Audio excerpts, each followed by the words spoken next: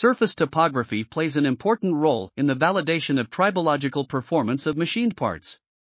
The surface topography, particularly the roughness, can provide information about the machining process and can be used as a fingerprint of the manufacturing.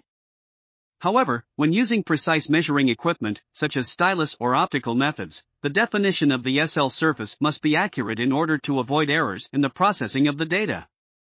This paper proposes a method for selecting an appropriate procedure for removing the L and S components from the raw measured data.